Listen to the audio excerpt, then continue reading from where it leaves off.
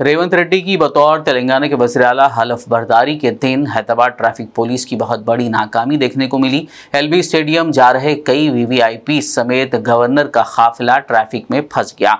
जराये से मिली जानकारी के मुताबिक एलबी स्टेडियम तक पहुँचने के लिए कई एमएलए को पैदल भी चलना पड़ा। जहाँ वीवीआईपी को ट्रैफ़िक मसाइल का सामना था, वहीं आम जनता को भी ट्रैफ़िक जैम की वजह से दुश्वारियों का सामना रहा।